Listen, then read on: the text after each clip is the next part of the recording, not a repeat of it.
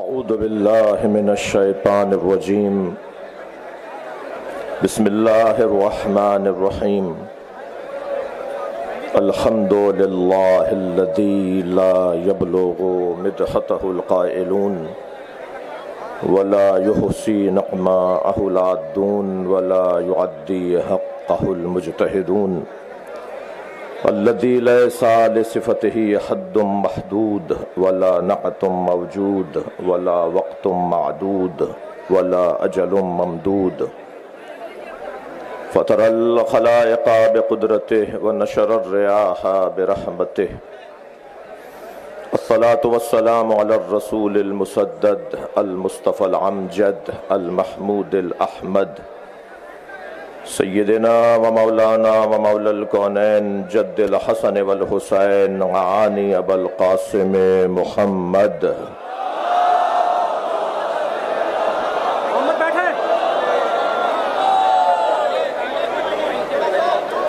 وآله الطيبين الطاهرين المعصومين الذين قال الله إنما يريد الله ليذهب عنكم الرجس أهل البيت ويطهركم تطهيرا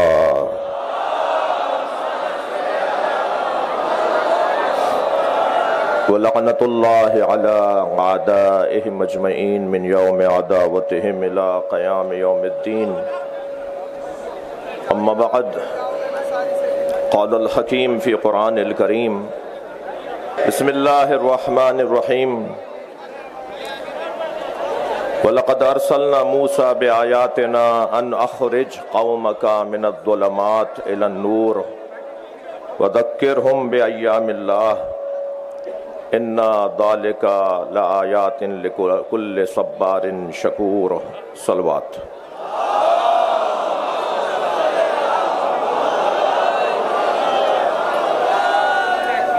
سورہ مبارکہ مریم. سورہ مبارکہ مریم کے علاوہ سورہ مبارکہ ابراہیم۔ ایک لہجے کی دو جگہ آیات۔ وَلَقَدْ أَرْسَلْنَا مُوسَى بِآيَاتِنَا۔ اور بتحقیق ہم نے موسیٰ کو بھیجا ہے۔ بھیجے ہوئے اور ہوتے ہیں، نکالے ہوئے اور ہوتے ہیں۔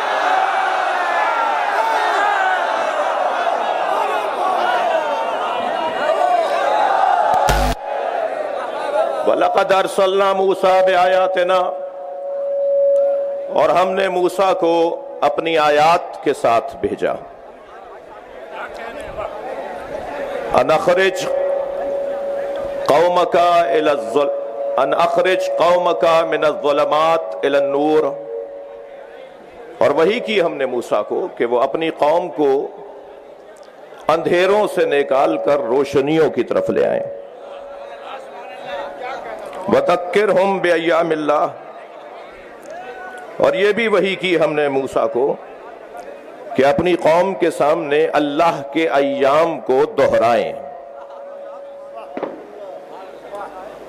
ان فی ذالک لآیات لکل کل صبار شکور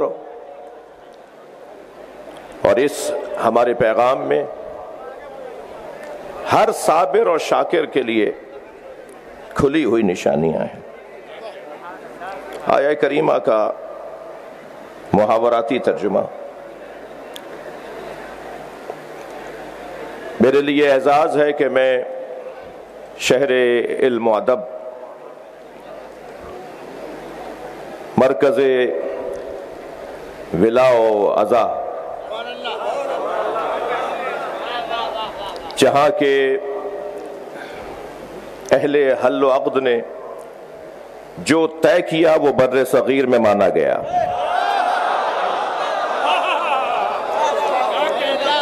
ایک ایسی سرزمین جس سرزمین کی فضا میں علم ہے۔ ایک ایسی سرزمین جہاں سانس لینے والا ادیب کہلاتا ہے۔ یہاں کا انگوٹھا لگانے والا بھی آپ جناب سے بات کرتا ہے۔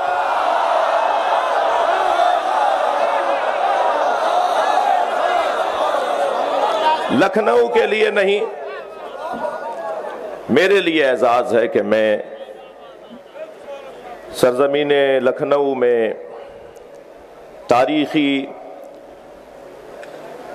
امام باڑہ آصف الدولہ، المعروف بڑا امام باڑہ اس میں خطاب کے لیے حاضر ہوا ہوں۔ یہ میری عزت ہے۔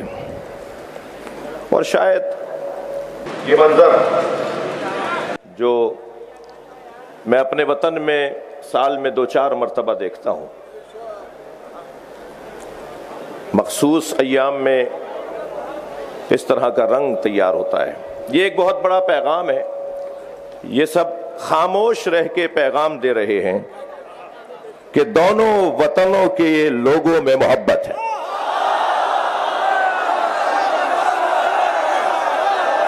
میں اس پہ چاہوں گا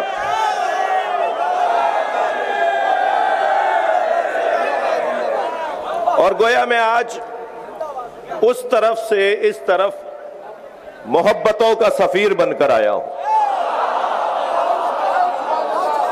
اور یہاں کی محبتیں شاید ہی میرے وطن کے کسی شہر میں اس وقت کی مجلس نہ سنی جا رہی ہو۔ تو اگر میں یوں کہہ دوں کہ یہ مجلس یہ مجلس صرف لکھنؤ میں نہیں ہو رہی، یہ مجلس بر صغیر میں ہو رہی ہے۔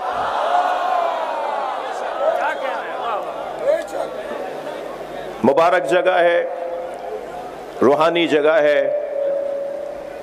یہاں مانگی جاننے والی دعا یقیناً مستجاب ہے۔ میں ممنون احسان ہوں۔ خطیب اکبر، مولانا مرزا محمد اطہر، نور اللہ مرقدہ الشریف خطیب العرفان، مولانا اشفاق، مرزا اشفاق، نور اللہ مرقدہ الشریف کے خانوادے کا۔ خاص طور پر میرے بھائی، جو ہندوستان کے لاکھوں دلوں میں رہتے ہیں، یہ اگر ایک آواز دیں، تو اس ملک کے مسلمانوں کو جوڑ سکتے ہیں اور ایسا مشاہدے میں ہے۔ مولانا مرزا محمد یاسوب عباس اور جانشین خطیب اکبر، مرزا مولانا اعجاز اطہر، میں ان کے بھائیوں کا، ان کے خانوادے کا ممنون ہوں۔ ابھی خاص طور پر صدر دروازے سے یہاں تک آنے میں جن محبتوں کا میں نے مشاہدہ کیا، شاید مجھے مرنے کے بعد بھی کام آئیں گی۔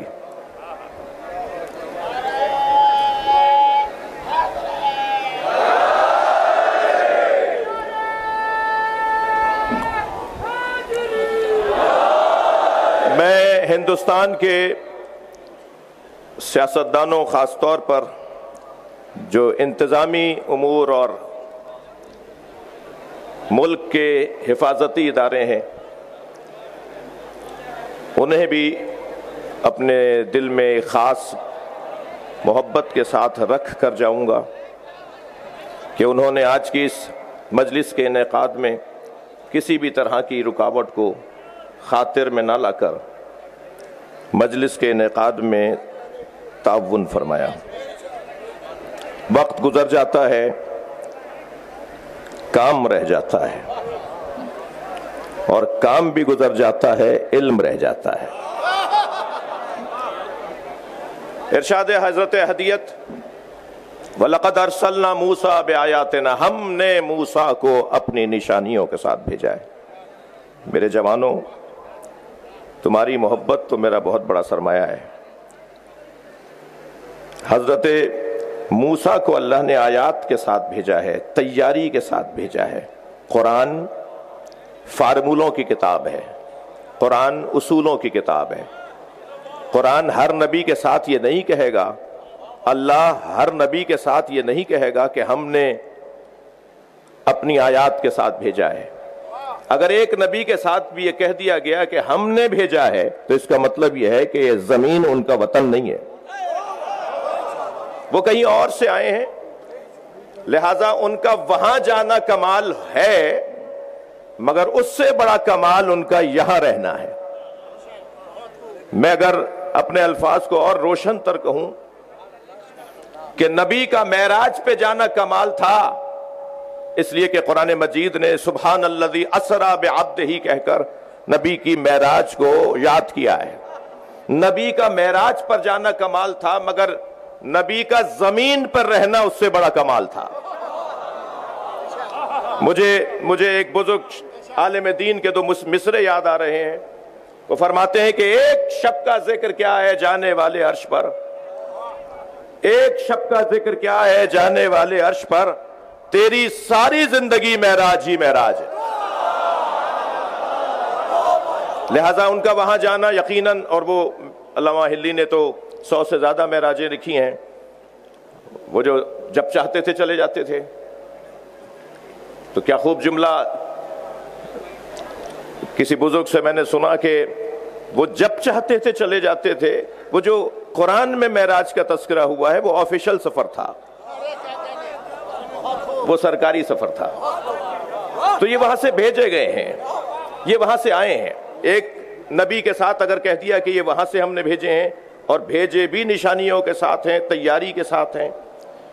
ایسے ہی اگر ایک نبی ماں کی گود میں یہ کہے کہ میں نبی ہوں، تو کیا ضروری ہے کہ ہر نبی کے ساتھ یہ لگایا جائے کہ یہ جب دنیا میں آتے ہیں تو وہاں سے نبی بن کر آتے ہیں؟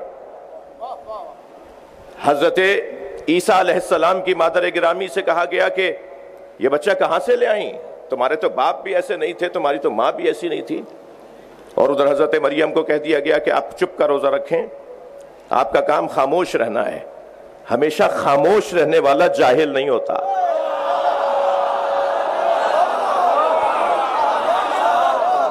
حضرت مریم خاموش۔ ادھر آواز آئی کہ یہ کہاں سے آیا؟ تو حضرت مریم نے اشارہ کیا بچے کی طرف۔ فاشارت لیں تو ایک مرتبہ ان لوگوں نے جنہوں نے حضرت عیسیٰ کو اپنے بچوں کی طرح سمجھا تھا۔ بڑے پیغامات ہیں۔ حضرت عیسیٰ جو انہیں اپنے جیسا سمجھے، پھر ان کا انجام کیا ہوگا؟ ذرا محسوس کیجیے گا جنہوں نے حضرت عیسیٰ کو اپنے جیسا سمجھا، انہوں نے کہا، کیفا نکلمو من کانا فی المہد سبیہ یہ بچہ ہم سے کیسے بات کرے گا جو ابھی ماں کی گود میں ہے، ابھی تو گہوارے میں ہے۔ تو جنہوں نے اپنے بچوں جیسا سمجھا، انہیں پیغام ملا۔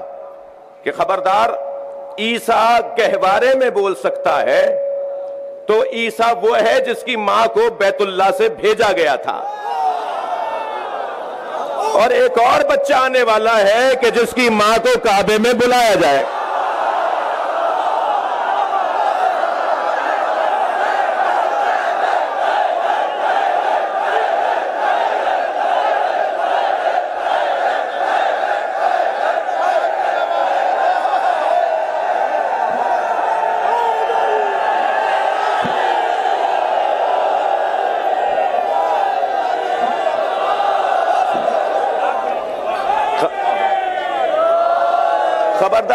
خبردار، اتنا بڑا مجمع ہم میں کوئی نبی رسول امام تو نہیں ہے، اتنا بڑا مجمع ہم میں کوئی معصوم تو نہیں ہے۔ یہ جو ایک جیسے ہیں انہیں اللہ نے ایک جیسا نہیں بنایا۔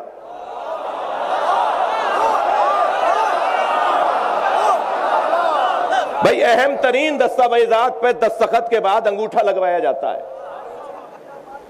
متعلقہ اداروں کے افسران بیٹھے ہوں گے۔ بھائی پڑھے لکھے ہیں دستخط کر دیے، انگوٹھا کیوں لگوا رہے ہو؟ جی انگوٹھا وہ لگائے جیسے سائن کرنا نہ آئے دستخط کرنا نہ آئے۔ لیکن دستخط کے بعد انگوٹھا اس لیے لگوایا جا سکتا ہے، لگوایا جاتا ہے کہ دنیا میں اگر فنگر پرنٹ کے طالب علم اور اس شعبے جو کرائم کے ادارے ہیں، جو حفاظتی ادارے ہیں، وہ توجہ کریں، میں کچھ کہہ رہا ہوں۔ دنیا میں جرائم کو بھی پکڑا جاتا ہے انگلیوں کے نشان سے۔ اور دنیا میں آثار، بہترین آثار کا رستہ یہ انگلیوں کے نشان ہے۔ دستخط ہو گئے، انگوٹھا کیوں لگوا رہے ہیں؟ اس لیے کہ اگر دنیا میں اربوں انسان ہے نا، تو کسی کا کسی جیسا انگوٹھا نہیں ہے۔ تو اگر آمادہ ہے تو جملہ دیا کر دو۔ جب انگوٹھا ایک جیسا نہیں ہے تو عقیدہ ایک جیسا کیسے؟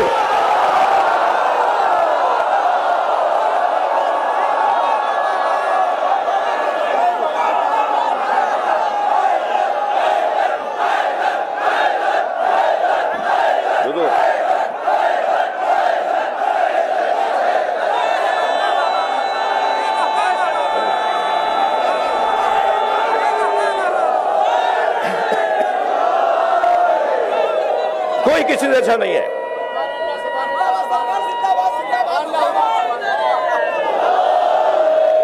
بھائی۔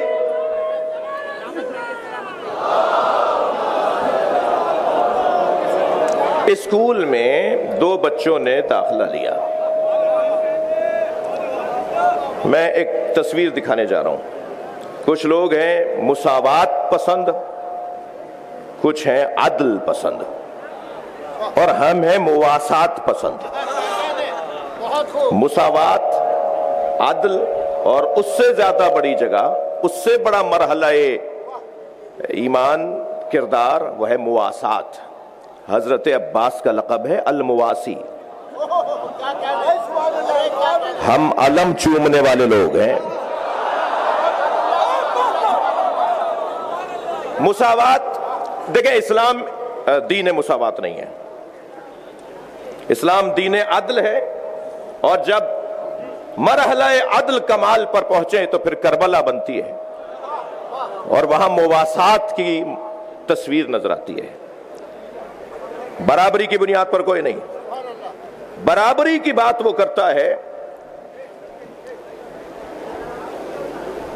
مثلا دو بھوکے ہیں، دو روٹیاں ہیں۔ تو مساوات پسند کہے گا کہ ایک ایک بھوکے کو کھلا دو۔ اور دوسری دوسرے بھوکے کو کھلا دو۔ جی۔ مساوات پسند یہ کہے گا۔ لیکن عدل کے پیروکار کہیں گے کہ دیکھو کس کی کتنی بھوک ہے۔ اگر ایک کی بھوک ڈیڑھ روٹی کی ہے تو اسے ڈیڑھ روٹی دو۔ اور اگر ایک کی بھوک آدھی روٹی کی ہے تو اسے آدھی روٹی دو۔ عدل یہ کہتا ہے۔ تو عدل کا تقاضا تو تفریق ہے۔ عدل کا تقاضا تفریق ہے۔ اب مساوات پسند مزاج لوگوں میں ایک منظر نظر آیا کہ دو بچوں نے اسکول میں ایک ساتھ داخلہ لیا۔ ایک ہوشیار محنتی ذہین، اس نے ایک ایک سال میں کئی کئی کلاسیں پاس کی ایک نکما کن ذہن، اور اس نے کئی کئی سالوں میں بھی ایک کلاس پاس نہیں کی۔ ایک پہنچ گیا میٹرک میں اور ایک پہنچ گیا تیسری میں۔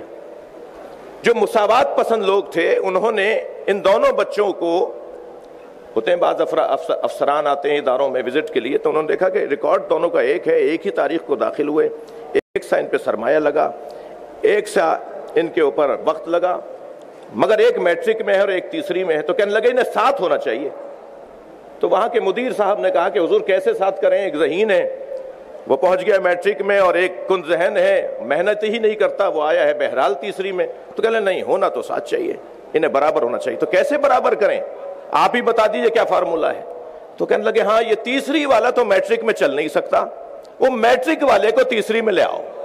یہ یہ خود تو نبی جیسے ہو نہیں سکتے۔ کہتے محمد ہم جیسا۔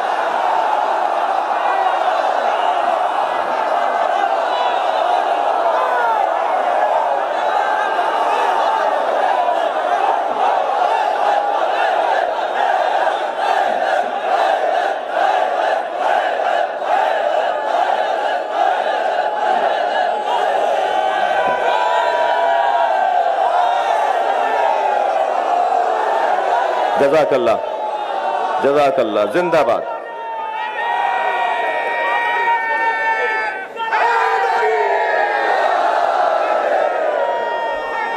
مارکا نیئر بھائی، کل آپ محفل میں نہیں تھے۔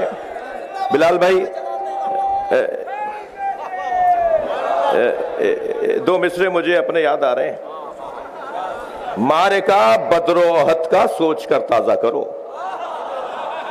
یہ یہ ان لوگوں سے کہہ رہا ہوں جنہیں نعرہ حیدری پسند نہیں ہے۔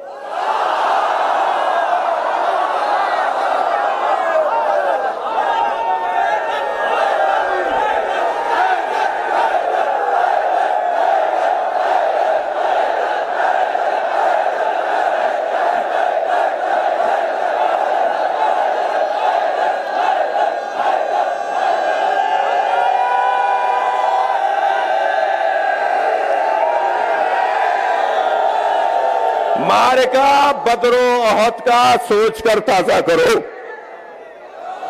مارکا، جو میرے عزیز دور ہیں اور بالکل دوسرے لون میں، پارک میں تشریف فرما ہے، میں ان کو دور سے دیکھ رہا ہوں۔ سلام پیش کرتا ہوں اپنی بچیوں کو، بہنوں کو، ماؤں کو، قوم کی ماؤں کو اور یہاں شریک تمام افراد کو۔ مارکا بدر و احد کا مارے کا بدر و عہد کا سوچ کر تازہ کرو۔ مارے کا بدر و عہد کا سوچ کر تازہ کرو۔ ذکر حیدر آج بھی لڑتا ہے لشکر کے بغیر۔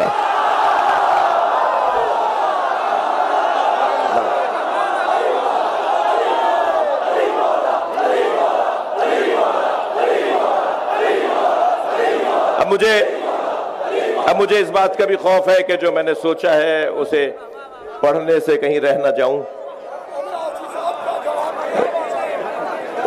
لیکن میرا یہ بھی دل کہہ رہا ہے کہ ان جوانوں کے جو دل کی آواز ہے اس پہ کچھ بات ہو۔ اور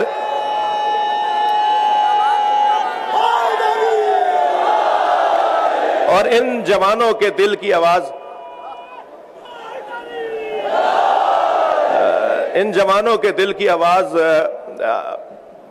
قومیات کی شخصیات، میں جناب مرزا مولانا مرزا یاسف عباس صاحب کے توسط سے اچھا یہ بھی ذہن میں رہے کہ مجلس لکھنؤ میں پڑھ رہا ہوں، لیکن مجلس لکھنؤ کے لیے نہیں پڑھ رہا۔ یہ یہ، جیسے میں نے آغاز میں کہا کہ پوری دنیا سن رہی ہے، تو جو یہاں بات کی جائے گی، وہ یہاں کہیں پانی نہ مرے۔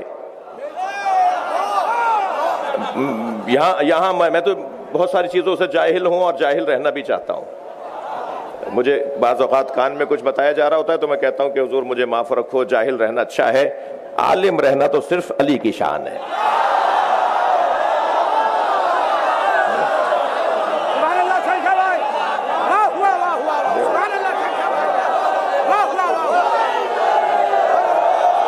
تو جو پوری دنیا کے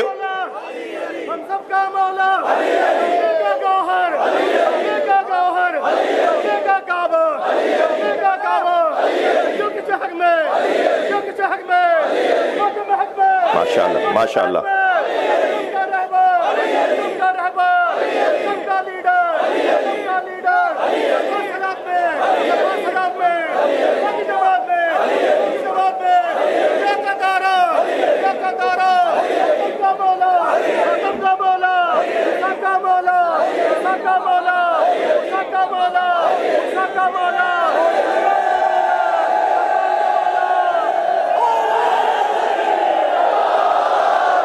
تین لوگوں کو یا علی مدد بولنے سے پہلے چھ دفعہ سوچنا چاہیے۔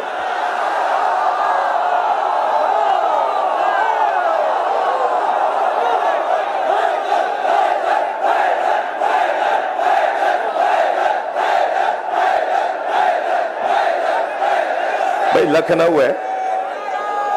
انہیں تو سراحت کی ضرورت ہی نہیں ہے۔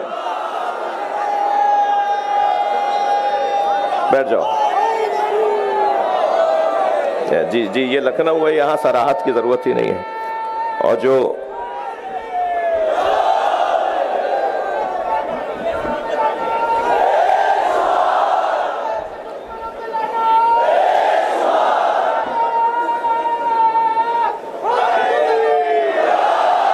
میں جملے کو تکرار کر رہا ہوں، تین لوگوں کو یا علی مدد بولنے کی ضرورت ہی نہیں ہے۔ اور ان تین لوگوں کی تین کمزوریاں بتا دوں۔ چھ دفعہ سوچنا چاہیے ان افراد کو، کیا ضرورت آ رہی ہے تمہیں؟ تم اہل ہی نہیں ہو یا علی بولنے کی۔ ایک کنجوس کو۔ کنجوس سے کیا تعلق علی کا؟ کالر ادھڑا ہوا ہے، پائچے پھٹے ہوئے ہیں، بٹن ٹوٹے ہوئے ہیں۔ کون صاحب ہیں جی؟ لکھنؤ میں ان کی فلا مارکیٹ میں دس دکانیں ہیں۔ جو اپنے اوپر پیسہ نہیں لگاتا، وہ امام بارگاہ میں کیا لگائے گا؟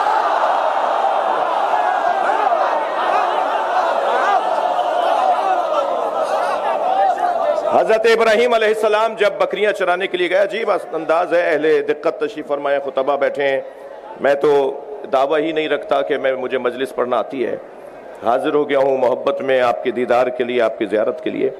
حضرت ابراہیم جب بکریاں چرا رہے تھے اچھا عجیب بات، عجیب پیغام کہ اللہ نے ہر نبی سے بکریاں چروائیں۔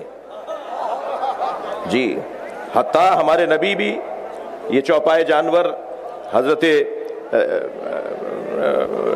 اپنے کمسنی کے عالم عالم میں، ہر نبی سے اللہ نے، تو آیت اللہ اشتہاردی کا بڑا حسین جملہ ہے، ایک اللہ کے عارف عالم دین، وہ فرماتے ہیں کہ اللہ نے نبیوں سے بکریاں اس لیے چروائیں، کیونکہ بکری چرانے کے لیے آساب کا مضبوط ہونا ضروری ہے۔ اور جس کے آساب مضبوط ہو وہ جاہل انسانوں کو خوب پال سکتا ہے۔ بکریاں چرا رہے ایک مرتبہ جبریل امی نے پوچھا کہ اللہ، تیرا خلیل ابراہیم، تیری راہ میں کیا دے سکتا ہے؟ تو اللہ نے کہا کہ میرا خلیل تو اپنا سب کچھ دے سکتا ہے۔ تو برابر سے جبریل امتحان لینے کے لیے گزرے۔ امتحان لینے کو برابر سے گزرے اور ایک تسبیح پڑھتے ہوئے گزرے۔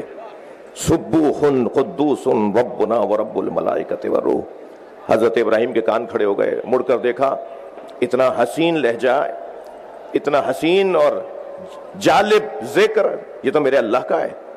تو کہا، کیا صرف تم ہی ہو کہ جو اپنے اللہ کا ذکر کرتے ہو؟ کوئی اور بھی تو کر سکتا ہے؟ کہا، اسے ایک دفعہ اور سناؤ۔ تو کہا، دو گے کیا اس کے بدلے میں؟ کہا، میرے جتنے جانور ہیں، میں آدھے دے دوں گا۔ ایک مرتبہ اور سنا دیا آنکھوں میں آنسو بھر لائے۔ کہا، اتنا اچھا ذکر، ایک دفعہ اور سناؤ۔ کہا، آپ کیا دو گے؟ کہا، جو رہ گئے وہ سب دے دوں گا۔ دیکھ لیا آپ نے، جس سے محبت ہوتی ہے، اس کے نام پہ خرچ کرنے کو دل کرتا ہے۔ خبردار ازاداری امام حسین سے کم کر کے یتیموں اور بیواؤں کے لیے فنڈز قائم نہ کرو۔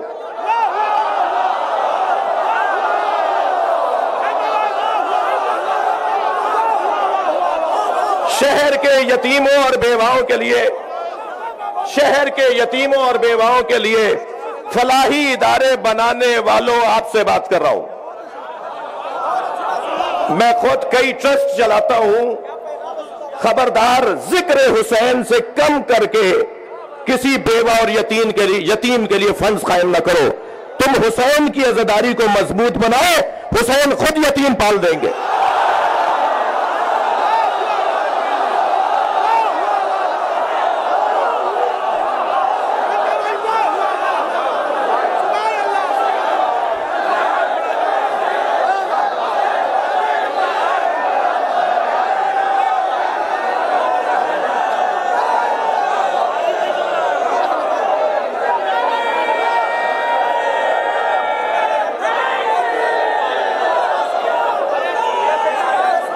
جتنا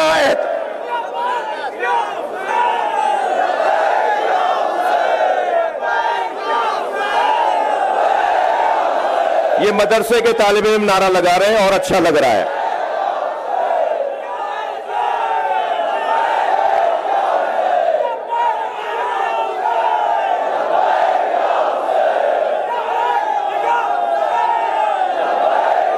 اچھا ایک ہم آواز ہو کے ہم آواز ہو کے صرف پانچ مرتبہ کہہ دیجیے لبا ہے کیا حسین!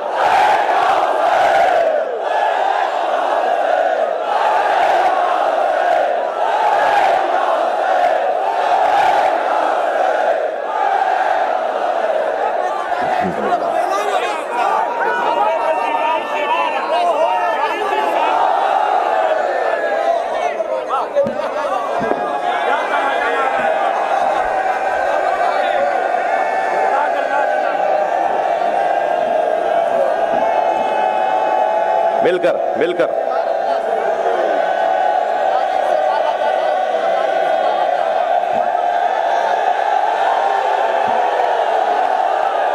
یہ کوئی ہنر نہیں ہے کہ مجلس کی نیاز بنائی، پکائی، خود کھا لی۔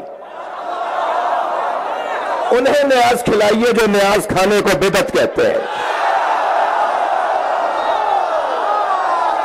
اگر واپس کر دیں تو ناراض نہ ہو، دوبارہ بھیجیے۔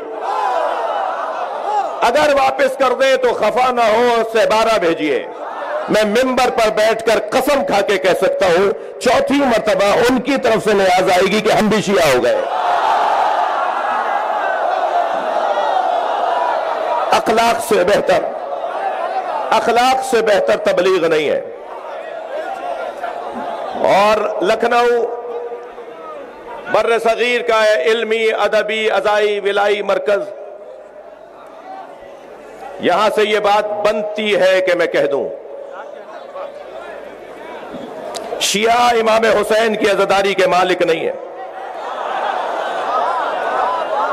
شیعہ امام حسین کی عزداری کے مالک نہیں ہے جہاں جہاں میرے عزیز تشریف فرما ہیں اور سن رہے ہیں، میں ان سے مخاطب ہوں۔ شیعہ امام حسین کی عزداری کے مالک نہیں ہیں، نوکر ہیں۔ اور نوکروں کو اپنی اوقات میں رہنا چاہیے۔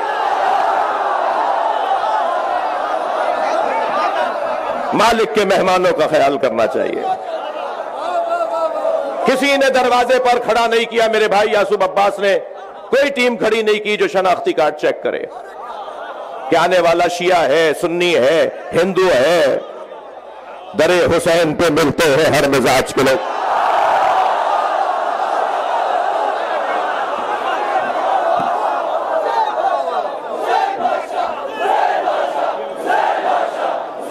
ماشاء اللہ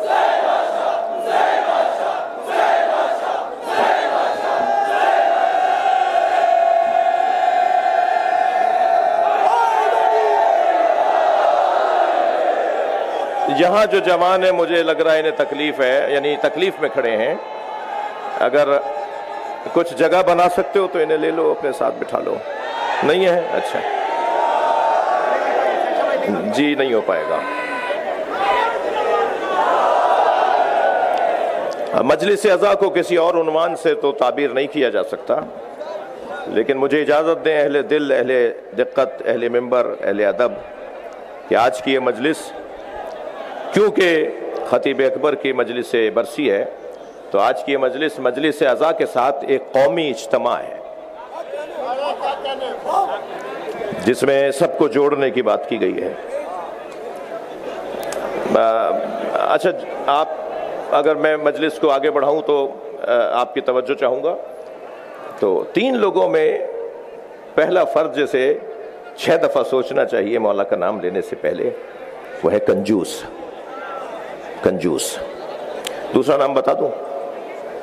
جس سے مجھے تو بہت نفرت ہے۔ اور ہر حیدری کو ہونی چاہیے۔ اور اپنے درمیان سے ان کالی بھیڑوں کو نکال دو جو اس تیسری، دوسری بیماری کا شکار ہے اور وہ دوسری بیماری ہے کہ علی مولا کا چاہنے والا بزدل نہیں ہوتا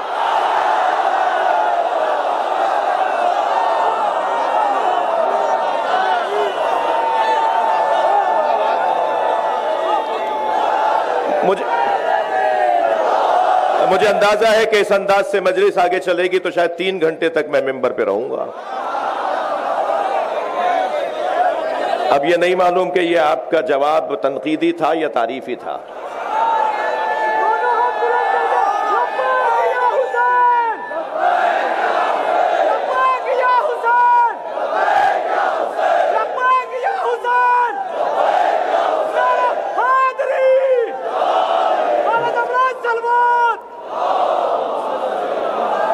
بھائی، ایک ایک ایک ایسی سلوات کے جو دل خوش کرتے ہیں۔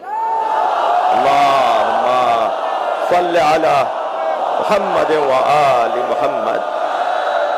اور یاد رہے سلوات میں محمد اور آل کو توڑنا نہیں ہے۔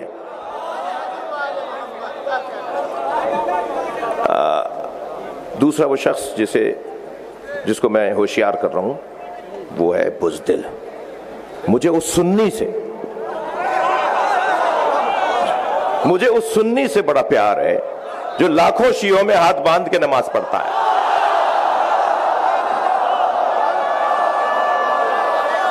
کربلا میں، مشہد میں، نجف میں، ہم جگہ جگہ، ہم جگہ جگہ دیکھ رہے ہوتے ہیں کہ لاکھوں ہاں لاکھوں شیعوں میں جگہ جگہ پانچ، دس، بیس، پچاس لوگ ہاتھ باندھے ہوئے نظر آ رہے ہیں۔ میں بات کر رہا تھا کہ بزدل کا کام علی کا نام لینا نہیں ہے۔ بزدل علی کا نام نہیں لے گا۔ جی بزدل علی کا نام لے گا تو پھر شجاع ہو جائے گا۔ جی تو وہ وہ وہ وہ بڑا اچھا منظر ہوتا ہے کہ کہیں کہیں ہمیں جگہ جگہ نظر آ رہے تو مجھے اس لیے کاظمی صاحب، اس لیے مجھے وہ سنی پسند ہے۔ آج بھی تشریف فرمائے، میں ان کا ممنون ہوں۔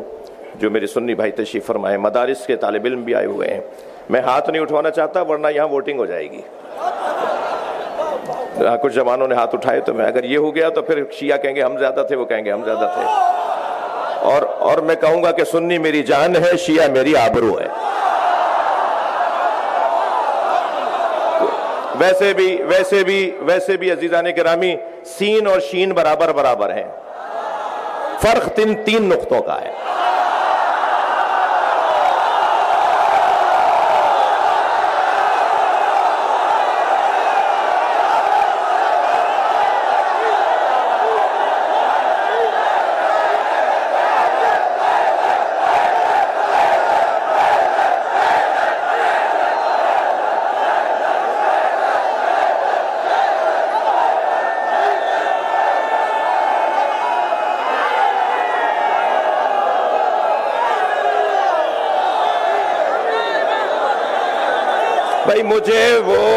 سنی اس لیے اچھا لگتا ہے جو لاکھوں شیعوں میں ہاتھ باندھ کے نماز پڑھ رہا ہوتا ہے، وہ مجھے اس لیے اچھا لگتا ہے کہ وہ ہاتھ باندھ کر بتاتا ہے، شیعوں سے ڈرنا نہیں، یہ مارتے نہیں ہیں۔ یہ بہت بڑا اعزاز ہے۔ یہ بہت بڑی عزت ہے کہ کسی قوم سے کوئی ڈرے نہیں۔ ہم سے کوئی ڈرتا نہیں ہے، یہ بہت بڑی عزت ہے۔ میں ہندوستان اور پاکستان کی ریاستوں سے بات کر رہا ہوں۔ دہشت گرد پاکستان میں ہو تو بھی غلط۔ دہشت گرد ہندوستان میں ہو تو بھی غلط۔ ان دونوں کا مسلک انسانیت دشمنی ہے۔ دہشت گرد کوئی مذہب نہیں رکھتا۔ خبردار کسی دہشت گرد کو نہ سنی نہ شیعہ کہیے گا، نہ ہندو کہیے گا۔ کوئی ہندو دہشت گرد نہیں ہو سکتا۔ کوئی سنی اور شیعہ دہشت گرد نہیں ہو سکتا۔ دہشت گردی خود ایک مذہب ہے۔ جن کا ہندوؤں سے تعلق نہیں ہے۔ جن کا سنیوں سے اور شیعوں سے تعلق نہیں ہے۔ بزدل لاکھوں شیعوں میں ہاتھ باندھ کے نماز پڑھ کر بتاتا ہے، شیعوں سے ڈرنا نہیں۔ اور اس لیے بھی مجھے مولانا اچھا لگتا ہے وہ، کہ وہ ہاتھ باندھ کر بتاتا ہے وہ ہاتھ باندھ کر بتاتا ہے کہ جس دین کو میں نے سمجھا ہے، اس پہ عمل کرنے کی جرت بھی رکھتا ہوں۔ بھائی، جملے کی قدر کیجیے گا۔ کوئی ہندو بھائی؟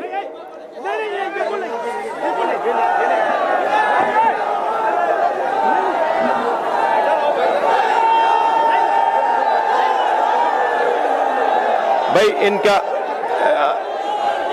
میرے میرے میرے میرے عزیز، مجلس میں شریک ایک ہندو بھائی محبت کا اظہار کرنا چاہ رہے تھے۔ مجلس میں تاخیر ہو جائے گی۔ میں بہت ساری باتوں سے رہ جاؤں گا۔ اور اس لیے میری گزارش ہے کہ جیسا یاسوب عباس صاحب چاہ رہے ہیں، ایسا ہی کیجیے ادھر والوں کو، ادھر والوں کو، ادھر والوں کا شوق میں دیکھ رہا ہوں۔ اگرچہ معاف کیجیے گا، یہاں بھی شوق بہت ہے۔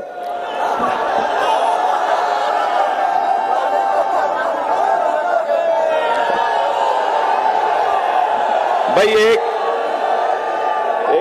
ایک ایک جو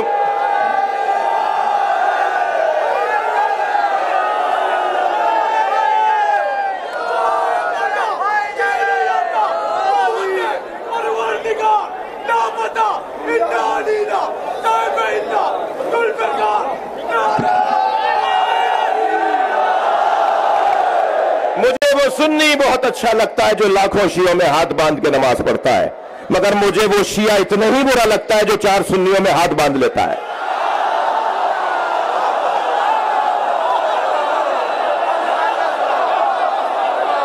بھائی میں اگر اس مجلس میں نہ کہوں تو کہاں کہوں؟ میں کہہ چکا ہوں کہ مجلس لکھنؤ میں پڑھ رہا ہوں، مگر لکھنؤ کے لیے نہیں پڑھ رہا۔ لہذا پوری دنیا کے شیعوں کو ایک پیغام یہ ہے، ہمارے افسران، ہمارے پولیٹیشنز ہمارے زمینداران ہمارے حیثیت رکھنے والے لوگ جب چاہتے ہیں ہاتھ باندھ لیتے ہیں، تمہارے تو دادا بھی ہاتھ کھول کے پڑھتے تھے۔ تم تو خاندانی سجدگاہ رکھ کے نماز پڑھنے والے ہو۔ یہ تمہیں کیا ہوا؟ آج اکیسویں گریڈ کے افسر بن گئے تو تم نے ہاتھ باندھ لیا۔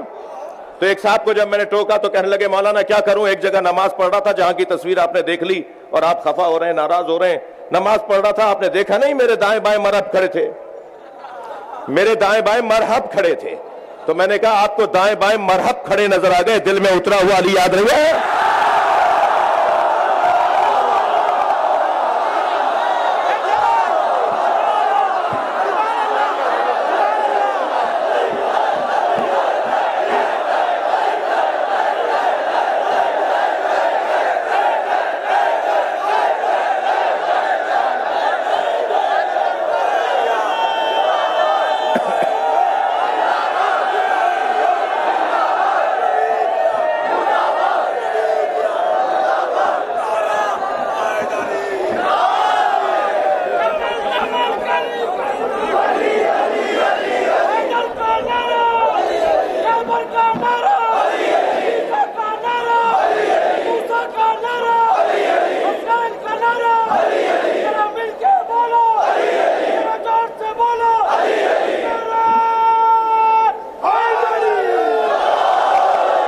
بر صغیر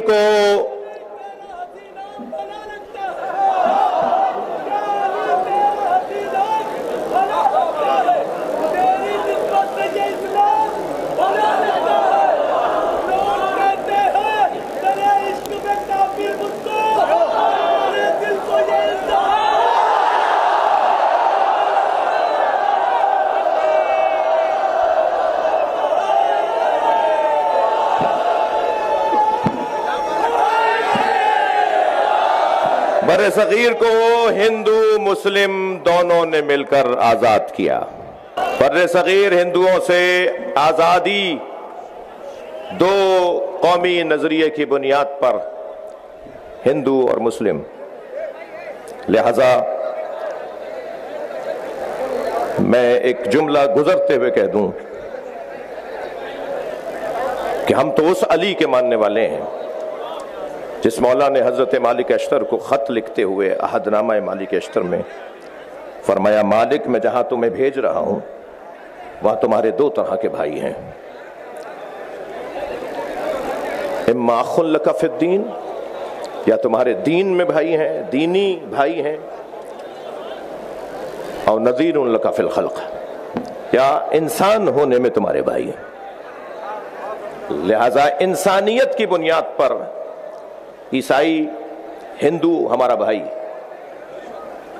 اور دینی بنیاد پر یہ فطرت ہے کہ سنی کو سنی سے، شیعہ کو شیعہ سے، مسلم کو مسلم سے پیار ہوگا۔ مگر جس معیار پر مولا کائنات نے ہمارے ذہن کو پہنچا دیا، تم ایک بازو اپنا اس بھائی کو مانو، دوسرا بازو اپنا اس بھائی کو مانو۔ دونوں بازوؤں سے جو کام ہوتا ہے، وہ مکمل طاقت کا کام کہلاتا ہے۔ لہذا جوڑنے کی جگہ ہے، یہ توڑنے کی جگہ نہیں ہے۔ میں نے وہ ایک مصرہ کہہ کے شاید دوسرے مصرے میں بہت معمولی سی تصرف ہو کہ در حسین پہ ملتے ہیں ہر مزاج کے لوگ۔ در حسین پہ ملتے ہیں ہر مزاج کے لوگ، یہ دوستی کا وسیلہ ہے، دشمنی کا نہیں۔ لہذا سب یہاں یہ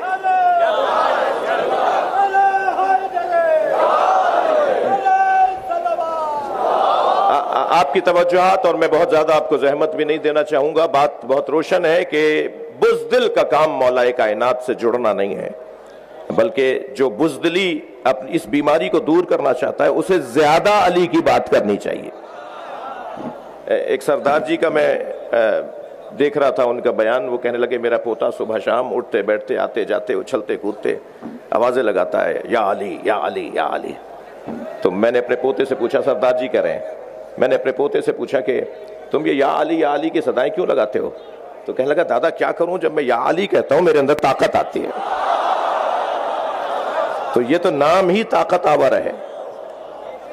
اور یاد رکھو میرے بچوں اس میں آزم مجھے نہیں معلوم کتنے ہیں، مگر مجھے یہ پتا ہے کہ یا علی اس میں اعظم ہے۔ جی میرا دل کہہ رہا ہے بلال بھائی کہ یہ ایک بات ان بچوں کو منتقل کر دوں۔ مولا ایک سفر پہ روانہ ہے۔ تنہا سفر کرنے سے علی نے روکا ہے۔ تلاش میں ہے کہ کوئی ہم سفر مل جائے کہ اچانک ایک گھوڑ سوار نظر آیا، اس کے قریب جا کے پوچھا کہ کہاں کا ارادہ ہے۔ اس نے اپنی منزل بتائی تو حضرت نے فرمایا کہ ہم ہم سفر ہو سکتے ہیں، میری منزل بھی وہی ہے۔ دو گھوڑ سوار، مولا اپنے دلدل پہ سوار۔ وہ جو سوار تھا، وہ یہودی تھا اور اپنے دین کا عالم تھا۔ یہ سواریاں دوڑتے ہوئے ایک ایسی وادی سے گزری کہ جہاں رستہ زیر آپ تھا۔ اس پار جانے کے لیے رستہ مضبوط تھا، پانی گہرا ہے، اس جانب کیسے جائیں؟ تو اس یہودی نے اپنے سامان سے ایک چادر نکالی اور پانی پر پھیلا دی۔ اور کچھ پڑھا تو وہ چادر پتھر کی ہو گئی۔ یہ اپنا گھوڑا اس پار لے گیا۔ وہاں جا کے کہنے لگا، میرے پاس تو اس میں آزم ہے، آپ کے پاس کیا ہے؟ حضرت نے اپنے دلدل کی گردن پہ ہاتھ پھیرتے ہوئے فرمایا، تم پانی پہ چل کے جاؤ گے۔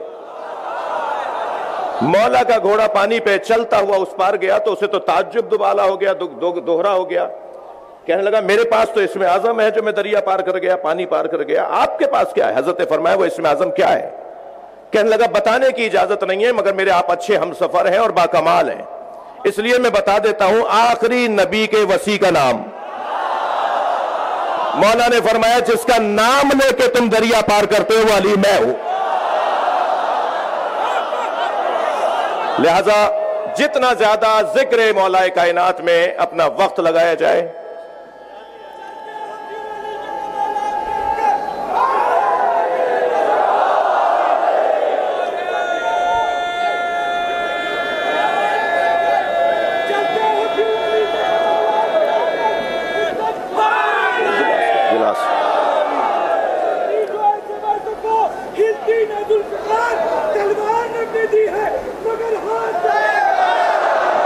دوسرا بندہ جسے سوچنا چاہیے۔ جی حضور جی۔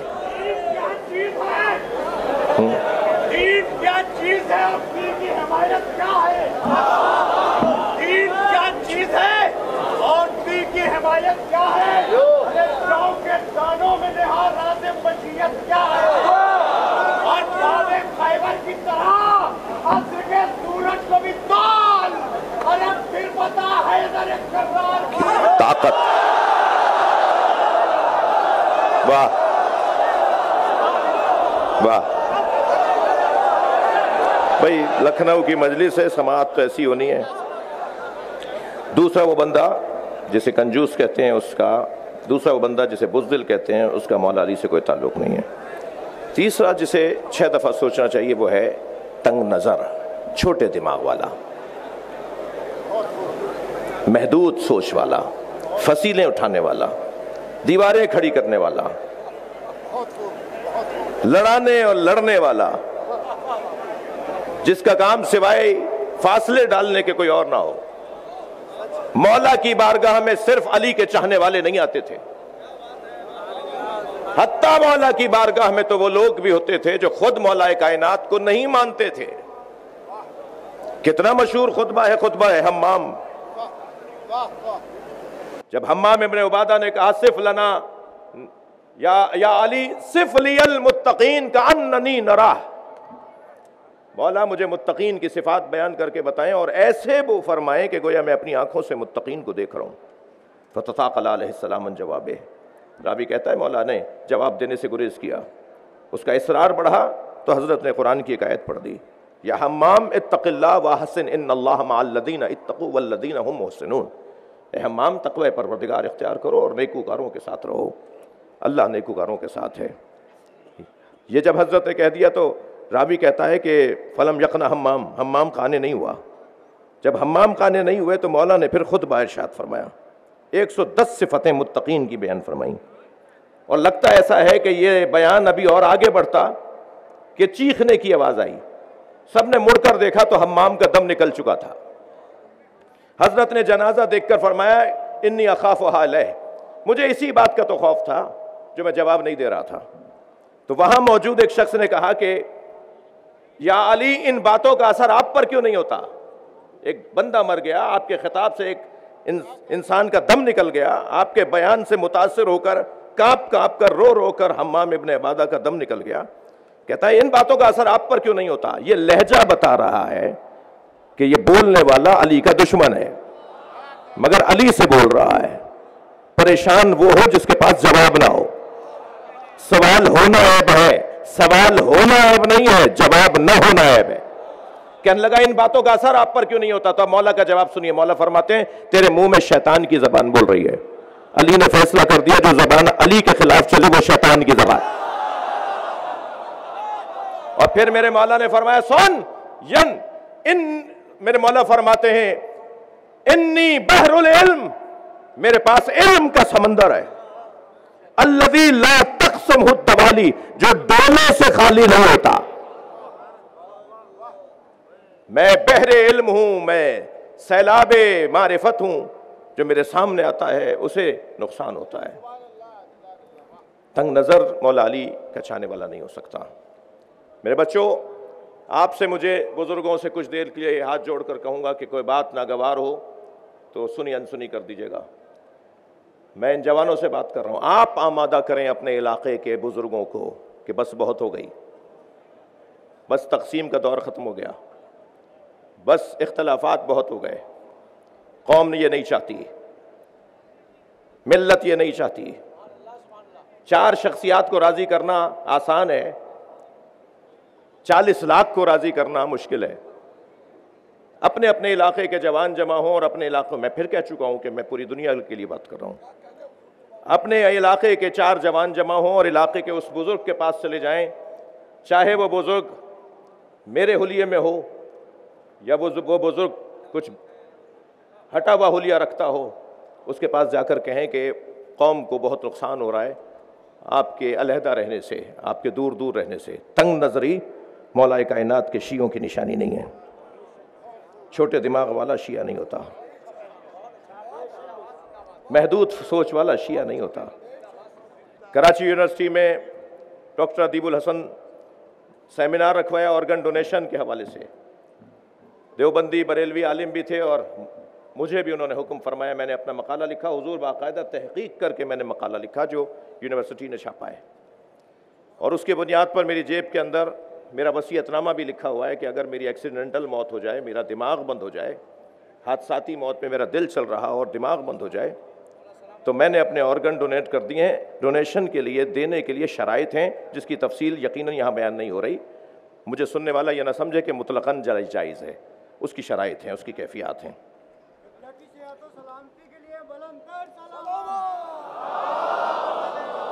تو نہیں بھائی، ایک صاحب اللہم صلی اللہ علیہ محمد وآلہ محمد۔ ایک صاحب فرمانے لگے، مولانا، اگر میرے گردے کسی سنی کو لگ گئے؟ ایک نے تو حدی کر دی، کہنے لگا، میری آنکھیں اگر کسی سنی کو لگ گئیں؟ ایک اور کہنے لگا، میرا دل اگر کسی ہندو کو لگ گیا؟ اچھا سری لنکا والوں کی اور مغربی دنیا والوں کی آنکھیں خوب لگوا رہے ہیں ہم لوگ۔ جب آنکھیں ٹرانسپلانٹ ہوتی ہیں تو یہ پوچھتا ہی نہیں ہے کون کہ یہ آنکھیں کس کی ہیں۔ مگر اپنی آنکھیں دیتے وقت یہ سوچ رہا ہے کہ دوں گا تو کس کو لگ جائیں گی؟ تو میں نے اسے کہا، دیکھو، پہلا جواب تو تمہیں یہ ہے کہ تنگ نظر شیعہ نہیں ہوتا۔ اور دوسرا جواب تمہیں یہ ہے، تمہارے دماغ اور تمہارے معیار کا جواب یہ ہے کہ اگر تمہاری آنکھیں کسی سنی کو لگ گئی تو کیا معلوم وہ علم دیکھنے لگ جائے؟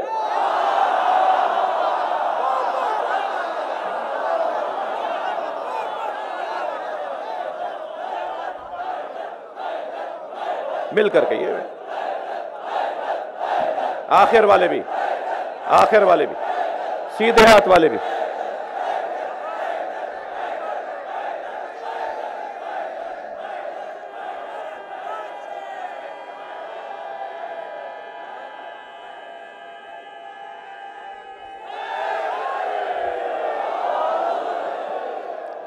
لقد ارسلنا موسیٰ بے آیاتنا ہم نے موسیٰ کو تیاری کے ساتھ بھیجا ہے۔ ہم نے تیاری کر کے، تیار کر کے موسیٰ کو بھیجا ہے۔ کیوں؟ ان اخرج قوم کا ہم نے وہی یہ کی کہ اپنی قوم کو نکالیں، من الظلمات النور، اندھیروں سے نکالیں۔ خطیب اکبر کا ایک کمال، چھپن سال تک ایک جگہ مجلس پڑھنا، پھر ساری زندگی سوائے ذکر اہل بیت کے کوئی اور مشغلہ نہ ہونا۔ جی یہ کمال ہے خطیب اکبر کا۔ یہ کام ہے ظلمات سے نکال کر نور کی طرف لے جانا۔ اہل دقت تشریف فرمائے اللہ نے نور کی جمع بیان نہیں کی۔ ظلمات ضرور بیان ہوئی زد ضرور جمع بیان ہوئی ہے۔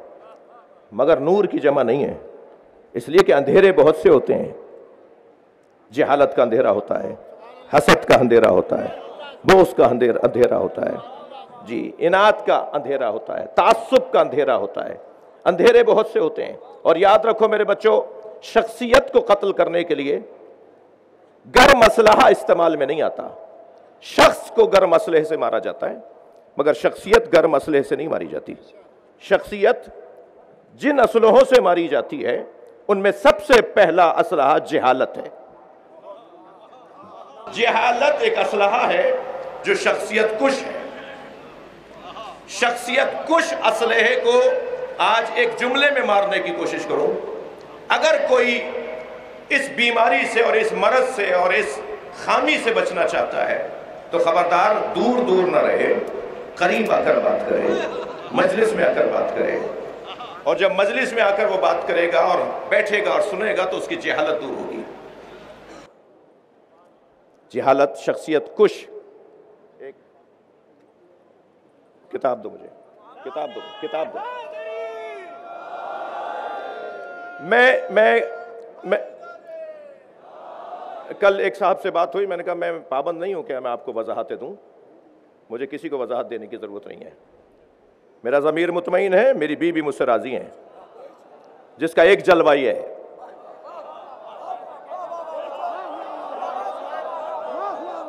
بی بی کو راضی کرنا بی بی کو مجھے راضی کرنا ہے نا، آپ کون ہے جس کے ایک بالش چہرے پر بھی دین نہ ہو۔ وہ چاہ رہا ہے کہ میں اسے راضی کروں تو میں کسی کا پابند نہیں ہوں۔ میں تو اپنے ضمیر کا جو ہے وہ ذمہ دار ہوں کہ میں اسے مطمئن رکھوں کہ میرا ضمیر مطمئن ہے، میری بیوی راضی ہیں۔ ہاں ٹھیک ہے، مجھے اس پوری آٹھ منٹ کی گفتگو میں، جس میں ایک منٹ کی گفتگو کو کاٹ کر چلایا جاتا ہے، اس میں میں کہتا ہوں کہ مجھے ایک جملہ نہیں کہنا چاہیے تھا، لیکن اس کے پس منظر میں حالات جو تھے، وہ آپ کو کیا پتا؟ ہمارے اس بیان سے ہمارے ملک میں پہلی محرم کو کسی کا جلوس نکلنا بند ہو گیا۔ تو یہ یہ یہ خدمت شمار کی جائے گی یا اس کو موقع تلاش کر کے رکاوٹیں ڈالنے کی کوشش کی جائیں گی؟ میں کسی کا پابند نہیں، مگر ممکن ہے اب بھی میرے بعض دوست کہیں کہ آپ کو ضرورت کیا تھی اس میں اس بات کو لانے کی۔ میں نے شاید بعض دوستوں نے کہا بھی کہ آپ یہ بات کیا ضرورت آ رہی کرنے کی، لیکن مجھے وہ نہیں، یہ عزیز ہیں۔ ان بچوں کے، ان جوانوں کے ذہنوں میں جو غلط فہمی ڈالی جاتی ہے۔ وہ کیا کہا، کس نے کہا، کاٹ پیٹ کر کیا سنایا گیا؟ میں تو اس کتاب کا ذمہ دار ہوں، جس کے بعد ایک ہزار شیعہ ہو چکا ہے۔ اور اس میں لکھا ہے کہ سیدہ کے ساتھ کیا ہوا۔ چھیالیس کتابیں دکھائی ہیں، اس میں عکس موجود ہیں۔ میں یاسوب عباس صاحب کو دیکھے جا رہا ہوں۔ سیدہ کے دفاع میں تو میرا یہ کام ہے، وہ نہ جانے آپ نے کیا سن لیا۔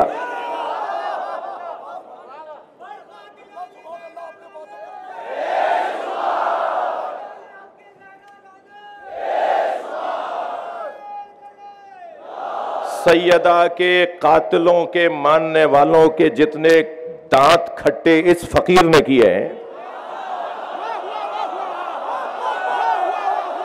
آپ کے ہندوستان سے ایک بیان جاتا ہے، شہنشاہ حسین نقوی کی خطرناک تقریریں ہوتی ہیں۔ وہ یہاں کا کوئی مولوی صاحب ہے۔ اور کیا خطرناک تقریریں ہوتی ہیں؟ اس کی روزانہ کوئی نہ کوئی شیعہ ہو رہا ہے۔ آپ پتہ نہیں کیا کلپ لیے بیٹھے ہیں، میں تو سیدہ کو راضی کر رہا ہوں سلوات پڑھنے محمد و آل محمد۔ بھائی، یہ بہت بڑا جہاں ہے اگر مل کر ایک آواز ہو کر سلوات دیا کرے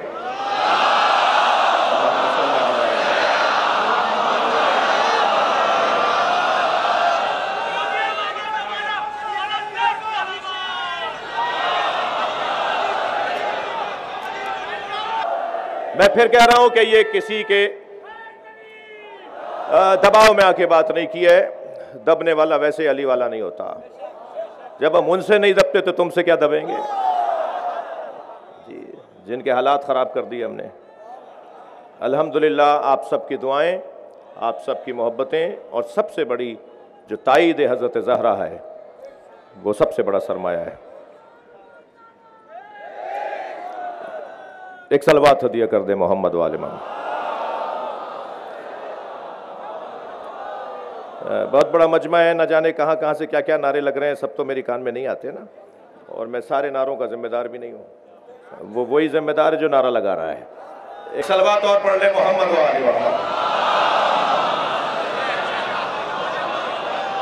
بھائی، اس سے بدل سلوات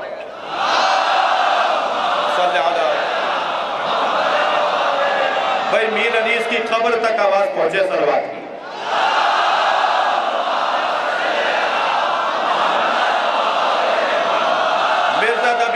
قبر تک آواز پہنچے سلوات۔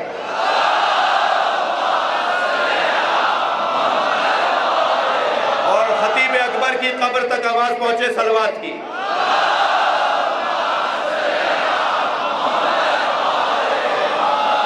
ہم نے موسیٰ کو بھیجا کیوں؟ اس لیے کہ وہ لوگوں کو اپنی قوم کو ظلمات سے نکال کر روشنی کی طرف، نور کی طرف لے کر آئیں وَذَكِّرْهُمْ بِأَيَّامِ اللَّهِ۔ اور اے موسیٰ، ہم نے تمہیں وحی کی، موسیٰ کو ہم نے وحی کہ موسیٰ، اپنی قوم کے سامنے اللہ کے ایام کو دہراؤ۔ اللہ کے ایام؟ میرے اور آپ کے ایام تو سمجھ میں آتے ہیں۔ ہمارے جو دنیا میں آئے ہیں، ان کے ایام تو سمجھ میں آتے ہیں۔ یہ اللہ کے ایام کا کیا مطلب؟ اللہ تو ازلی اور ابدی ہے۔ اللہ تو لم یلد ولم یولد ہے۔ اللہ تو اللہ السمد ہے۔ پھر اس کے ایام کا کیا مطلب ہے؟ اس کے دنوں کا کیا مطلب ہے؟ لہٰذا میرے معصوم امام فرماتے ہیں، اللہ کے تین دن ہیں۔ اللہ اکبر۔ جس دن اللہ سمجھ میں آتا ہے، جس دن اللہ ماننا مجبوری ہو جائے گی، جس دن، میں ہندو برادری سے بات کر رہا ہوں، جس دن اللہ کو ماننا، کون سا اللہ؟ وہ اللہ جو مصطفیٰ نے سمجھایا۔ اپنے ہاتھ کا اللہ نہیں، اپنی پسند کا اللہ نہیں، وہ اللہ جو علی نے سمجھایا۔ وہ اللہ جس کی کنیز خاص فاطمہ زہرا ہے۔ میں اللہ کی بات کر رہا ہوں۔ اپنے ہاتھ کا اللہ نہیں، یہ انسان بڑا عجیب ہے۔ یہ ہر با کمال کو اللہ بول دیتا ہے۔ یہ ہر جگہ کمال دیکھتا ہے تو کہتا ہے یہ اللہ۔ اور یہ فطری بات بھی ہے کسی حد تک کہ کمال طلبی، کمال جوئی ہمارے اندر کی آواز ہے۔ کسی کے نزدیک کمال علم تو اہل علم سے وہ دوستی۔ کسی کے نزدیک کمال شجاعت تو وہ بہادروں سے دوستی کرتا ہے۔ کسی کے نزدیک کمال حسن ظاہری تو حسینوں کے دروازے پر۔ کسی کے نزدیک کمال سخاوت تو وہ سخیوں سے دوستی کرتا ہے۔ کسی کے نزدیک کمال کرسی منصب تو اہل منصب سے۔ کسی کے نزدیک کمال شہرت تو وہ مشاہیر سے دوستی کرتا ہے۔ اللہ نہیں چاہتا تھا کہ لوگ در در کی ٹھوکریں کھائیں۔ اللہ نے ایک ہی گھر میں سارے کمال رکھ دیے۔ یہ جو کمال طلبی ہے نا، تو جس کو دیکھا اسے یعنی با کمال دیکھا، اس کے آگے جھک لیے۔ تو اگر یہی عنوان ہے کمال کا، تو عزیزان گرامی اگر پتھر میں کوئی کمال ہے، تو پھر وہ با کمال جس کے ہاتھوں پہ کلمہ پڑھ رہا ہو، اس با کمال کو کیا کہیں گے؟ اگر درخت اس قابل ہے کہ اس کی پرستش کی جائے، تو پھر اس کا کیا کہیں کہ جو حکم کرے تو درخت چلتا ہوا آ جائے۔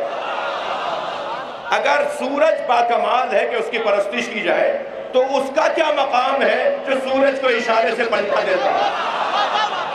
اگر چاند با کمال ہے، تو اس کا کیا مقام ہے جس نے ایک اشارے سے چاند کو دو ٹکڑے کر دیا؟ عزیز آنے گرامی، اگر کوئی انسان با کمال ہے، تو اس انسان کا کیا کہیں گے؟ جو اس انسان کے لیے کہتا ہوں میں محمد کے غلاموں میں غلام۔ لہذا کمال پرستی، کمال جوئی کا بھی کوئی معیار ہے۔ ہمیں معیار کے مطابق اپنے مرکز کو تلاش کرنا ہے۔ یہ ہے ظلمتوں سے نکال کر، اندھیروں سے نکال کر روشنی کی طرف لے جانے کا سفر۔ وہ جو اللہ کے ایام ہیں۔ جن ایام میں اللہ پہچانا جاتا ہے، اللہ جانا جاتا ہے، اللہ مانا جاتا ہے وہ ایام کون سے ان میں معصوم فرماتے ہیں، وہ یوم اللہ یوم ظہور ہے معصوم فرماتے ہیں وہ یوم اللہ، یوم القیامہ ہے۔ مگر تیسرا دن سن لیجیے۔ معصوم فرماتے ہیں وہ یوم اللہ، یوم عاشورہ ہے۔ یوم عاشورہ، یوم اللہ ہے۔ جس دن اللہ مانا جاتا ہے۔ ایک بڑا مضبوط جملہ ہے، اللہ ان کی روح کو شاد کرے۔ اللہ ہے پر انگنت دلیلیں ہیں۔ کتنی دلیلیں چاہیے؟ اللہ ہے پر انگنت دلیل ہے مگر سب سے بڑی دلیل اللہ ہے پر عصر عاشور حسین کا اطمینان۔ یہ اللہ ہے۔ رخسار سرخ ہو رہے تھے امام حسین۔ رخساروں کی سرخی، اطمینان قلب کی علامت چہرے کا پھیکا پن استراب کی علامت ہے۔ اور یہ رخساروں کی سرخی اور بڑھتی چلی گئی جب میرے مولا نے لاشوں پر لاشیں اٹھائی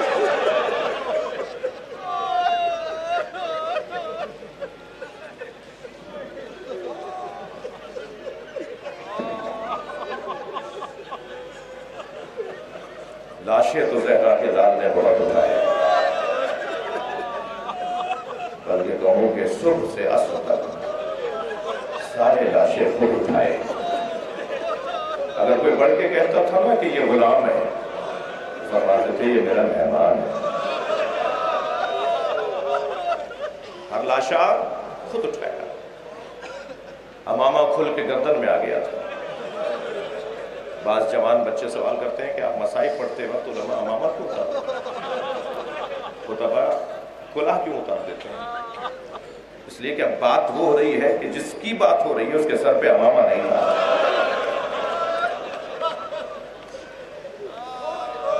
تصور تو کیجیے کتنے لاشیں اٹھائے امام حسین میں نے فضائل کا دورانیہ کچھ کم کر دیا، مجھے کچھ دیر مسائب پڑھنے کے لیے لاشیں بہت اٹھائے حر کا بیٹا علی ابن علیہ السلام جب اس نے اپنے بابا کو آواز دی نا کہ بابا میری مدد کریں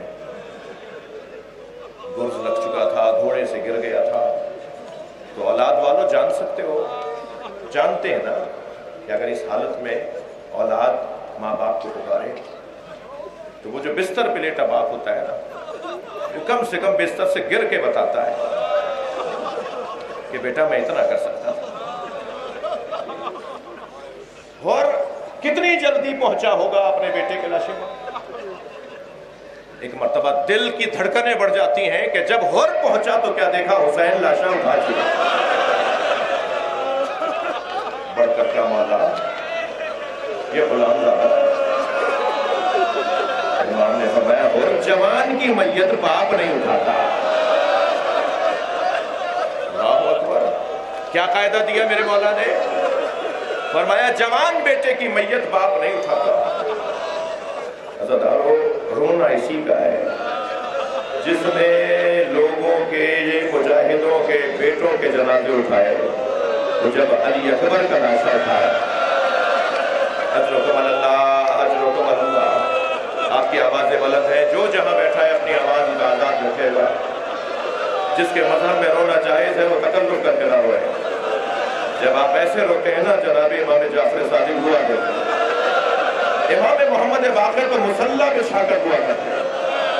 مولا حسین پہ رونے والا۔ کسی کے بڑے نے اگر رونے کو روکا ہے، تو ہم جنہیں بڑا مانتے ہیں، وہ کسی کے بڑے سے قابل مقایسہ ہی نہیں۔ ہم اپنے ائمہ کے حکم پر رو رہے ہیں۔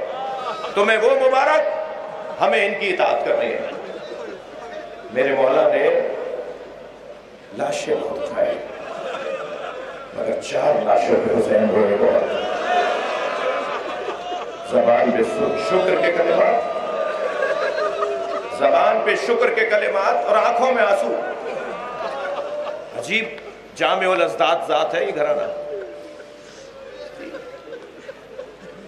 انسان کامل نہیں ہے انسان اکمل ہے اور جو جتنا بڑا انسان ہوتا ہے اس کا دل اتنا ہی نرم ہوتا ہے امام نے لاشیں بہت اٹھائے، مگر چار لاشیں صرف نام ہوگا جو جہاں بیٹھا ہے، اپنے تصورات کو ذرا کر بنا لے جائے وہ پہلا لاشا جس پر امام بہت روئے، وہ حضرت قاسم کا مجلس میں اللہ نہ کرے کوئی بیوہ بیٹھی ہو۔ اور اس بیوہ کے کوئی بچہ بھی ہو۔ میں آپ سب سے کہوں گا، سلام کرے بی بی امی فروا کو کیا شیر دل بی بی ہے؟ کیا جگر ہے اس خاتون کا؟ جب امام لاشا لے کر آئے نا، میں نے ابھی ایک جملہ اپنے وطن کے ایک شہر میں کہا، بہت دو، بہت دیر تک ایک جوان ہوتا رہا۔ میں چاہ رہا وہ جملہ یہاں بھی کہہ دوں۔ یہ واحد لاشا ہے جو ایک جگہ سے نہیں ملا۔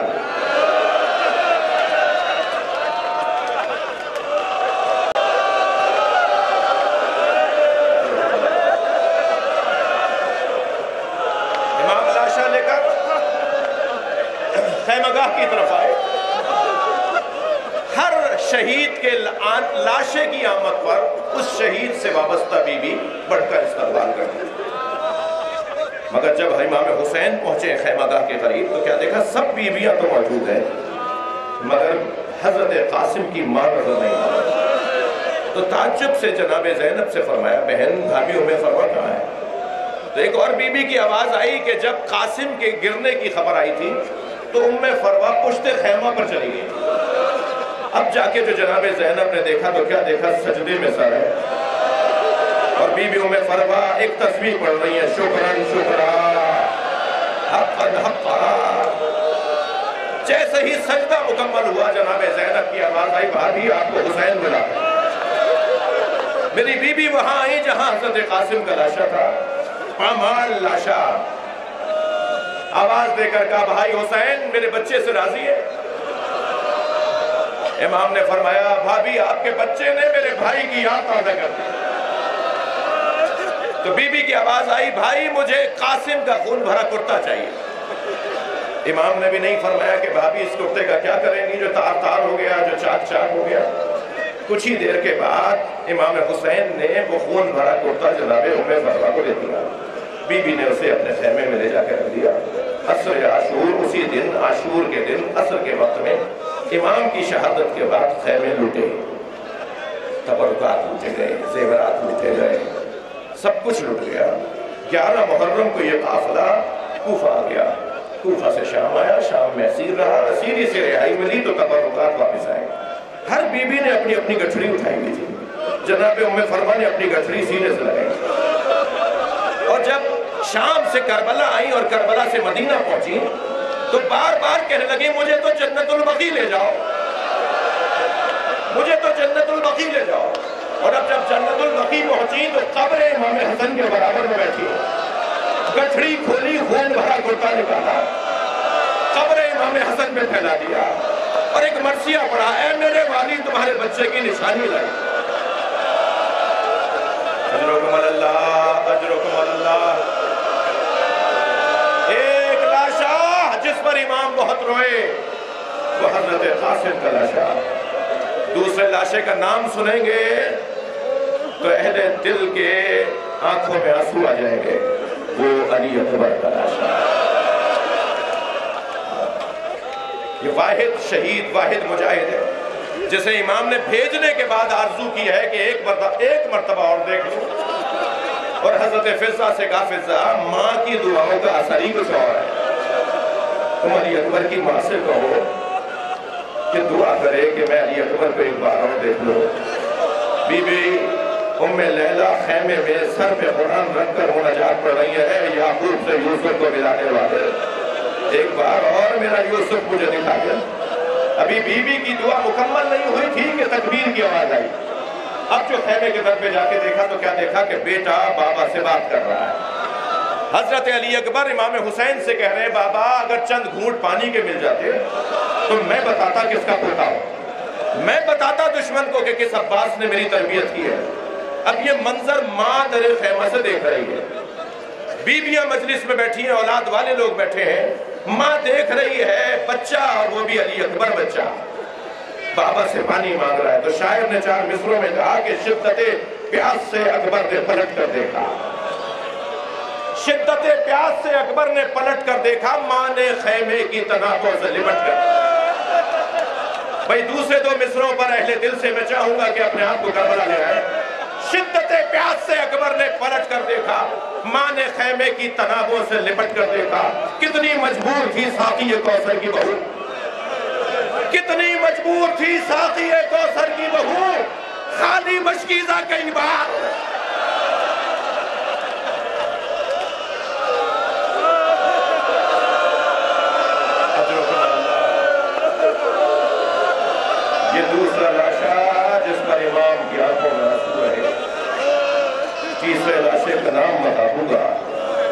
اور وہ لاشا ہے عباس۔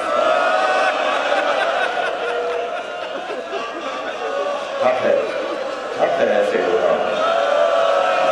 جسے رونا نہیں آ رہا وہ اللہ سے آنسو مانگے اور دعا یہ کرے کہ اے قبر عشق حسین کے نام پر مجھے عطا کر۔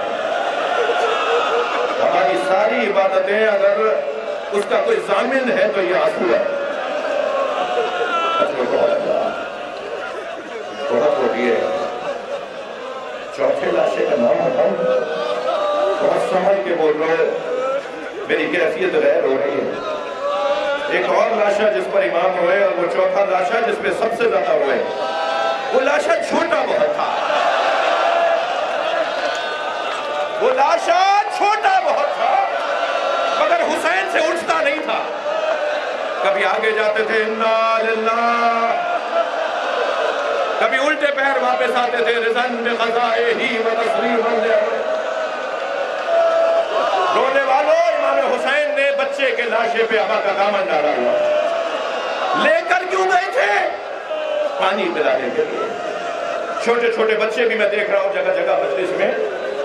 جب بچوں کے درمیان کہا جائے کہ فلاں چیز ہم تمہیں دیں گے، مگر پہلے چھوٹے بھائی کو دیں گے۔ تو سارے بچے جو اس سے بڑے ہوتے ہیں، وہ انتظار میں رہتے ہیں کہ پہلے اسے مل جائے، پھر ہمیں ملے گا۔ امام علی اصغر کو لے کر گئے ہیں، پانی پلانے۔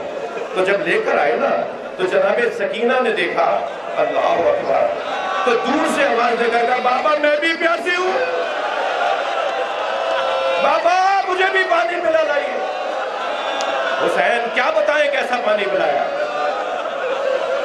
لکھنؤ کی تہذیب ازا بر صغیر میں ازدار خاندان، ماتمی خاندان، ذاکروں کی اولاد ہو۔ ابھی چند سال پہلے ایک جوان چھ محرم کو، چھ محرم ایک جوان میرے پاس آیا، کہنے لگا، مولانا، میں مچھلی خرید کر لایا میں نے باجی سے کہا، بڑی آپا سے کہا، مجھے مچھلی تل دو۔ تو دادی بیٹھی ہوئی تھی تخت پر، تو ان کی آواز آئی، بیٹا، محرم میں مچھلی نہیں کھاتے۔ تو میں نے دادی سے کہا، دادی، حلال تو حلال ہے، محرم ہو یا ربی الاول تو کہنے لگے ہاں تم آج جدید زمانے کے لوگ ہو نا، آج کے بچے ہماری کہاں بات مانیں گے؟ جاؤ جا کے مولانا سے پوچھو۔ تو مولانا، میں آپ کے پاس آیا ہوں، میں مچھلی کھا لوں۔ وہ جب بول رہا تھا تو میں رو رہا تھا۔ میں نے روتے ہوئے اسے کہا، میں اتنا بڑا عالم نہیں ہوں، مجھے اس مسئلے کا جواب نہیں آتا، تم دادی کی بات مان لو۔ کہنے لگا، میں سمجھا نہیں۔ میں نے کہا، تم دادی کی بات مان لو، وہ صحیح کہہ رہی ہیں۔ کہنے لگا، مولانا، سمجھائیے۔ میں نے کہا، کیا سمجھاؤں؟ امام حسین نے علی اصغر کے تڑپنے کو اما ترونا کیفا یتلقا دیکھ نہیں رہے، میرا بچہ مچھلی کی طرح منہ کھولتا۔ ہے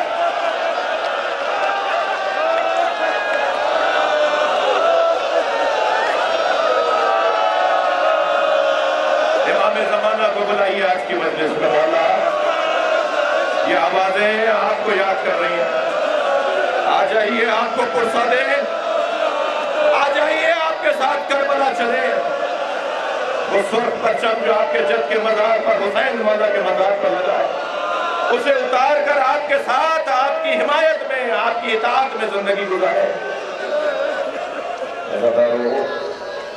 حسین مولا نے علی اصغر کا لاشا دفنا دیا۔ میں نے آپ سے کہہ دیا تھا مجھے آپ برداشت فرمائیں میں کچھ دیر مسائب زیادہ پڑھنا چاہتا ہوں۔ اور زیادہ کیا پڑھوں گا؟ زیادہ کیا پڑھوں گا؟ مگر اتنا مجھے یقین ہے کہ جب ایسے آوازیں بلند ہوتی ہیں، تو ان جوانوں سے کہہ رہا ہوں کسی کو کوہنی نہ لگ جائے۔ ان بچوں سے کہہ رہا ہوں کسی کو دھکا نہ لگ جائے۔ کیا معلوم کہ یہیں بیچ میں امام سجاد بیٹھے میں بیویوں سے کہوں گا، ذرا احترام رہے۔ جناب زہرا اپنی پوتی کے ساتھ آتی ہے۔ اور جب سکینہ بی بی دادی سے کہتی ہے، دادی ایسے کیوں رو رہے ہیں؟ تو بی بی بتاتی ہیں، یہ تمہارے بابا پہ رو رہے ہیں۔ اور حدیث کا جملہ یہ ہے کہ فی ید حفر قطن جناب زہرا کے ہاتھ میں رومال ہوتا ہے۔ تسم و دمو الباقین، جس میں رونے والوں کے آنسوؤں کو جمع کرتی ہیں۔ کچھ کم سعادت ہے کہ جو اس وقت عبادت ہو رہی ہے۔ اب حسین کربلا میں تنہا۔ گھوڑے کی گھوڑے کی قریب آئے، گھوڑے کے قریب آئے۔ زلجنا گردن جھکائے کھڑا ہے۔ امام قریب آئے تو یاد آیا کہ مجھے اکبر سوار کرتے تھے۔ میری گھوڑے کی لگام آ کر عباس سب تھامتے تھے۔ خیال آیا کہ میرے بچے مارے گئے تو درے خیمہ سے پہننے آواز دی۔ ابھی زینب زندہ ہے امام حسین کو گھوڑے پر سوار کیا۔ حسین مولا روانہ ہوئے۔ میں منا میں سرا قلب لشکر۔ تمام لشکروں کو خطاب کیا۔ ان کان دین محمد لم یستقم اللہ بقتلی فیا سیوف و حزینی اگر دین محمد میرے قتل کے علاوہ بچنے والا نہیں ہے تو تلوارو آؤ۔ مجھے ٹکڑے ٹکڑے کر دو۔ اور یہ کہہ کر جب حملہ امام نے ہوتا محسوس کیا، تو کچھ لمحوں کے لیے میرے مولا نے جوہر شجاعت دکھائے۔ اور بلا تشبیح برق کی مانند منے سے میسرے میں میسرے سے قلب لشکر میں، کچھ ہی دیر میں امام حسین نے تینوں لشکروں کو مخلوط کر دیا۔ یہ تمیز ہی ختم ہو گئی کہ یہ لشکر کس کی سالاری میں ہے؟ کس کی آواز سنے گا تو حملہ کرے گا اور کس کی آواز سنے گا تو رک جائے گا؟ امام نے لشکریوں کو مخلوط کر دیا اور ایسا منظر بنا کے یہ آپس میں ایک دوسرے پہ تلوار چلانے لگے۔ اس وقت امام گھوڑے کی پشت پہ کھڑے ہو گئے اور ایک مرتبہ نہر کی طرف رک کر کے کہا، اے میرے عباس، اٹھو، اپنے اکیلے مولا کی جنگ دیکھو۔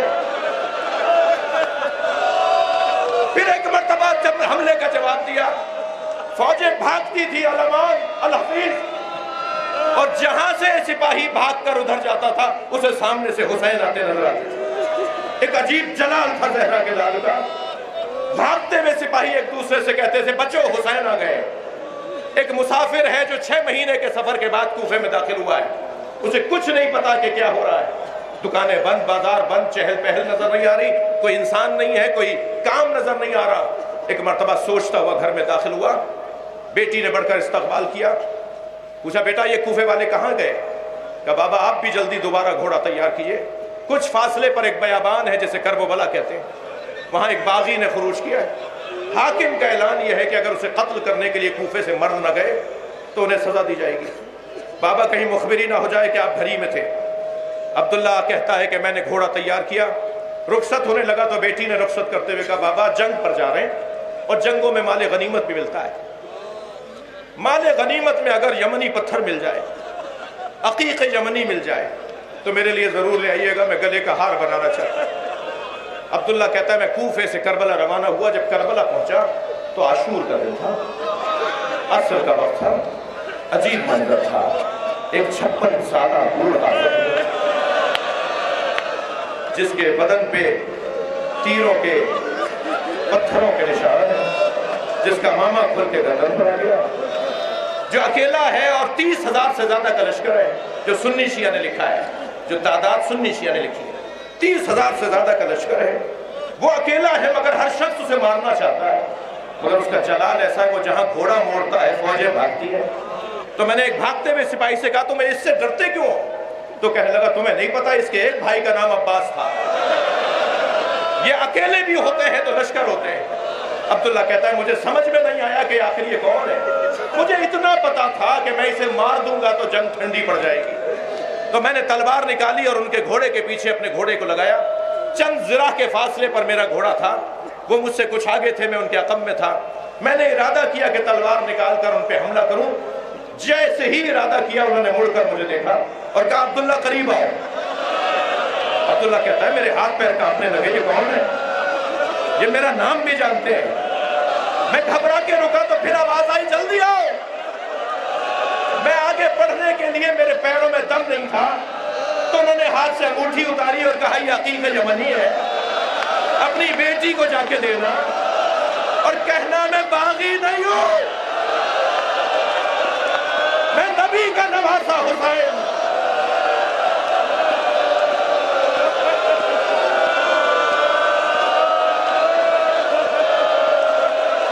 بس عزدارو مجلس ہو گئی۔ مجھے ایک جملہ کہنے دیجیے۔